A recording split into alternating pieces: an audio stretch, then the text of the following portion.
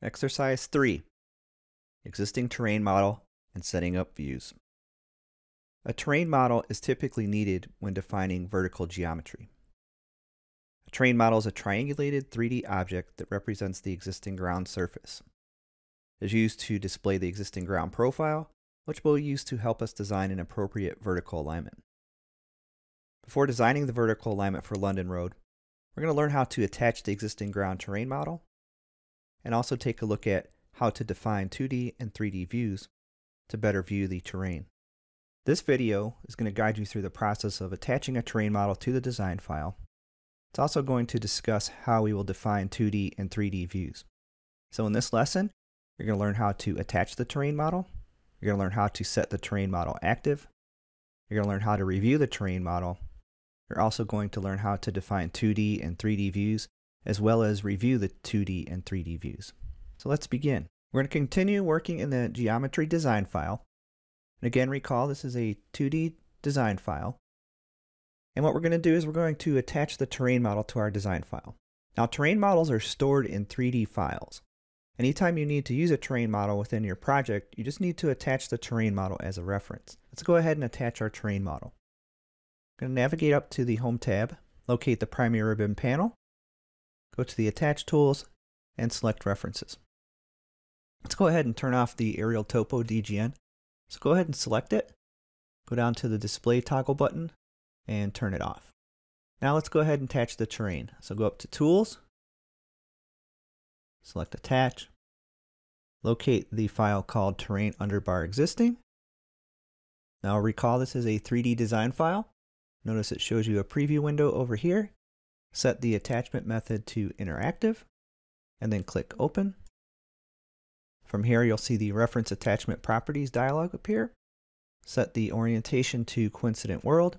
All other settings can be left as default and then click OK. That will attach the existing terrain to our file. From here, let's go ahead and close the references dialog and fit the view.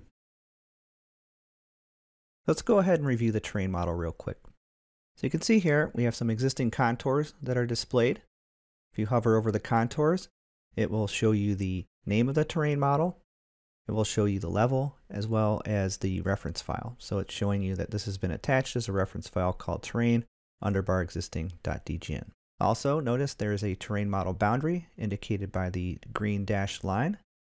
If you hover your cursor over that, you'll also see the name of the terrain model as well as the level and the design file that the terrain model came from, which in this case is terrain underbar existing.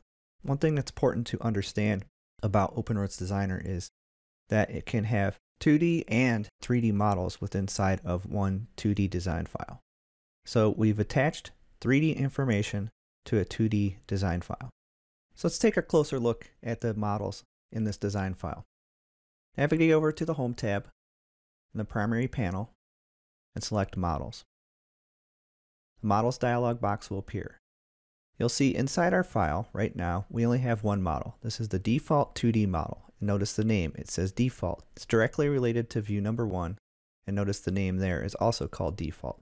So view number one indicates this particular model. Since we have a terrain model, the existing terrain is technically displayed in the 3D model. So let's go ahead and create the 3D model. I'm going to go and select the terrain model boundary Hover your cursor there for a few seconds and select Set as Active Terrain Model. When you do that, notice there's another model that shows up on our list here. Its name is Default 3D. But we're still only in a 2D file. We're still in the View 1 Default 2D model. Notice that the default 3D model shows you a different icon here indicating that's a 3D model. Let's go ahead and review that particular model. Let's go ahead and close the Models dialog box.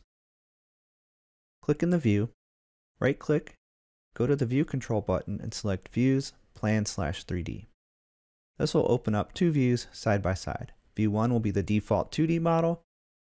View 2 will be the default 3D model. Let's go ahead and fit both views. Click in the 3D view, navigate up to the Fit View tool and select that to fit the 3D view. Click in View 1 to fit its view. So you can visualize the existing terrain model in either view. Also, knowing which view is active at any time is also important. Just by simply clicking in that view makes that particular view active.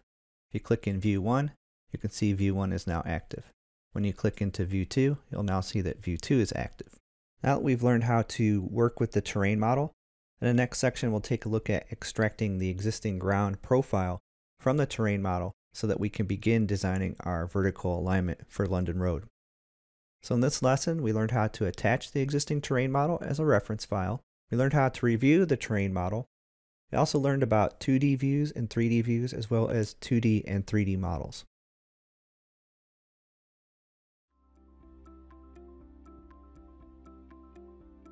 If you found this video helpful, please give it a like. If you want to see more such series, consider subscribing to our channel. Thank you and see you next time.